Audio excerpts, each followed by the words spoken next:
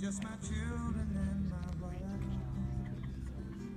Thank my lucky stars to be living here today. Cause the flag still stands for freedom and they can't take that.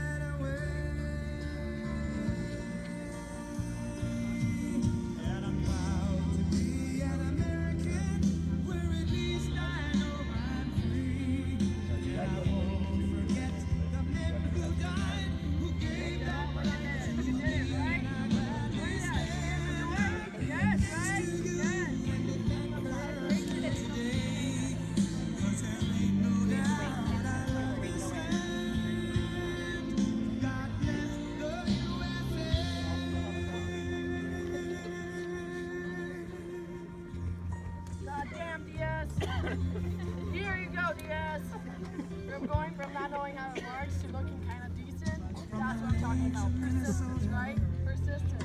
Knowing that you're bad at something, and still trying, still working on it, that's what I'm talking about.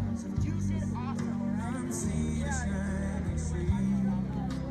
Detroit down to Houston, and New York to